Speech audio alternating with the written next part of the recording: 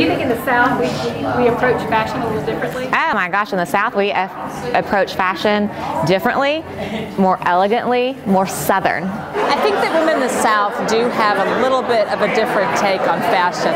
I think that women in the South will wear pearls with anything. Women in the South will wear pearls with a bathing suit, and I have seen it and I support it. I think women in the South approach fashion a lot differently. I was recently in Chicago, and, and the men there were so amazed at, of course, our Southern drawl, but then again, uh, you know, that we put on makeup and that we didn't look like Nanook of the North. Brady, what do you think about the way Southern women approach fashion?